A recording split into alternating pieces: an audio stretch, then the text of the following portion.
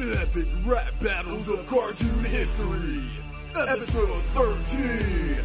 Peter Griffin versus Homer Simpson. My homeboys call me Peter. Let's play follow the leader. Yeah. Cause you're trailing me and Raiden since I entered in the theater. Huh? We're the next generation and your show is so outdated. And why are you getting so weird? Wait, are you and Marge related? Great. Take Chris for example. Yeah, versus Little Bart. He'll crush that spiky punk and leave him at the Kwik-E-Mart.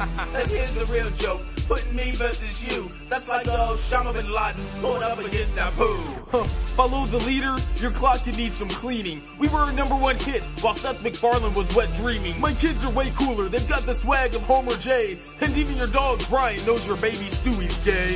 In the game since 89 and the fans want more. We're cartoon pioneers, haven't you been canceled before? Her movies are gold, that's right, box office hits. And your spin-offs are tiny, like the size of your dick. Uh, Alright, Homer, you've gone a step too far. How come to Springfield kick your ass and leave your line in Moe's bar? Your nuclear plant buddies, they cannot help you now. And I cleaned Marge's streets with my Griffin snowplow. Your movies are gold, well our DVDs are platinum. More teeny bopping sales than a Justin Bieber album. There's only room for one king, so pack your bags and go. This battle was a bad decision, or in your words, dope.